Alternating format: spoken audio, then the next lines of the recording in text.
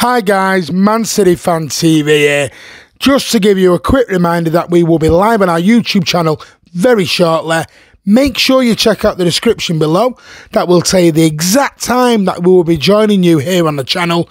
Make sure those ever important YouTube profiles are set to public and not private so you are notified every single time a video or we go live here on the channel.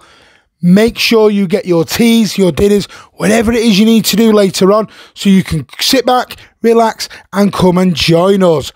Last thing, set a reminder in those ever important laptops or those mobile phones so you don't actually miss us when we are live.